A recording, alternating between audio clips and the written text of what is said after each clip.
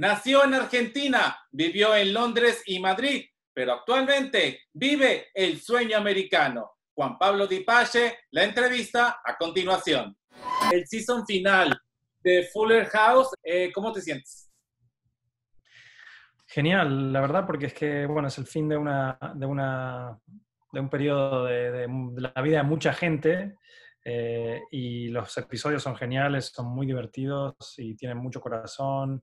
Fernando es, un regalito, la verdad, de personaje porque me, me, dio la opción de, de no tomarme para nada en serio, cosa que es muy sano, y al mismo tiempo de poder hacer reír, ¿no? Ir a trabajar para, para nosotros, para mí sobre todo era, era ir a hacer el ridículo todos los días al estudio y ver cómo este personaje podía podía ser, digamos, lo más payaso posible. Yo estaba muy acostumbrado a hacer drama, a hacer cosas más serias y estuvo genial eh, tener tanto tiempo aprendiendo lo que es la payasada adentro de, de, una sitcom, que es bastante difícil también, es, es, es, es un género muy específico, muy único. ¿Qué, qué similitudes tiene Fernando con, contigo? ¿Qué similitudes tiene? Bueno, yo en la cabeza también tengo cinco años, o sea que eso, en eso somos parecidos. Divertido, es divertido. Okay, why are we standing here? I'll drive. No, no, no, no. I drive. I was the famous race car driver. Yeah, but she's my fiance. Good point. You drive. Wait, wait, wait.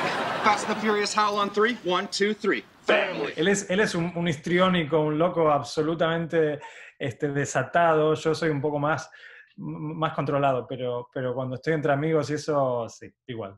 ¿Qué es lo que más vas a extrañar de esas largas horas de grabaciones de tus compañeros?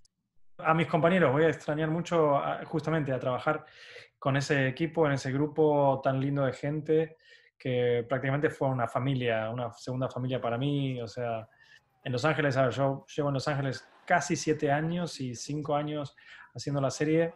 Es prácticamente toda mi vida en, en Estados Unidos. Entonces, ellos realmente se convirtieron en una, una, segunda familia para mí. O sea que, que, ir a trabajar era, era muy bonito porque era ya como, o sea, trabajar con amigos, ¿no? O sea que eso es lo que más, más, más extraño. ¿Golpe de suerte o qué fue? Porque, ¿cómo, ¿Cómo crees que se dio todo este, estas películas, esta música, estos proyectos que ahorita te rodean a ti y que, bueno, estás, estás dando mucho de qué hablar? Sí, tuve muchísima suerte pero antes de que sucediera eso, yo di muchos pasos y, y, y, hubo, como se dice acá, blood, sweat and tears, ¿no? O sea, también hubo sangre, hubo llantos, eh, sufrimiento. Y bueno, yo creo que siempre hay un momento, ¿no? El momento llega cuando, cuando uno no se rinde. Eso es muy importante. Y la perseverancia creo que es más importante que el talento. It's uh, Tomas here. Well, I have something to. Hi, I'm. How, how, how, hey, I have something to.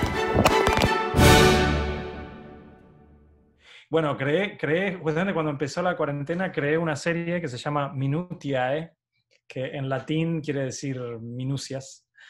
Eh, y va sobre un personaje que es un neurótico que está en su casa. Bueno, un neurótico, pobrecito. Somos todos un poco neuróticos. Pero todos. Este chico que se llama Tomás. y este es el set de la serie, ¿ok? Ahí está genial, ¿eh? Buen clima, buen clima. Muy currado, muy trabajado todo. eh, y nada, cada episodio tiene él conversaciones con o con su eh, terapeuta, que es muy mal terapeuta, es un pésimo psicólogo, o con su agente o con su familia. O sea, son, es él en conversaciones de Zoom y lo que le está pasando esa semana. Y, y normalmente eh, son cosas muy estúpidas, pero que para él son muy importantes. Have you ever wondered what you need in those times of need? you know what I mean? I love it. I love it. Okay. Este mes eh, de junio es un mes muy importante para la comunidad eh, del orgullo LGBT. Si quieres compartir algo. Si la gente, bueno, si la gente va a celebrar, que tengan cuidado, eh, que todavía, aunque veo que empiezan como a levantarse las, las reglas y etcétera de los comercios, que, bueno, que no estamos del todo fuera de esta pandemia, pero a nivel LGBT, nada, eh, mi apoyo absoluto a, todos los que estén también pasando por momentos en los que em, se sientan como que no pueden expresarse o salir, digamos, em, del armario, que sé que todavía hay mucha gente. Así que nada, todo mi cariño y apoyo y lo más importante es que uno se haga feliz a uno mismo. Eso es lo más importante. Después vienen los padres, después viene la sociedad, después viene, etcétera, los amigos.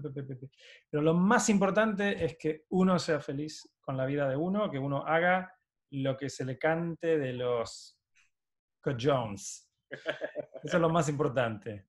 Después el resto, bueno, segundo plano.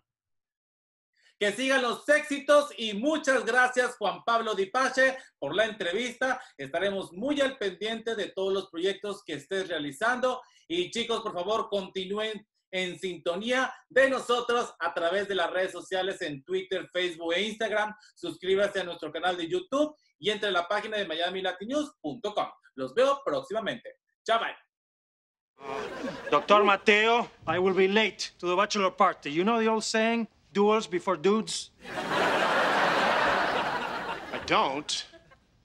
But I would wear that on a t-shirt around Fort Lauderdale in a second. Booyah!